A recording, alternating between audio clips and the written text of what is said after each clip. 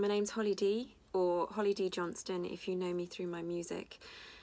I've created an online space that is all about creativity. It's about getting the creativity from the inside to the outside to give lots of inspiration, lots of ideas, videos, posts. And I just felt that people might like some ideas of things that they can do to be creative.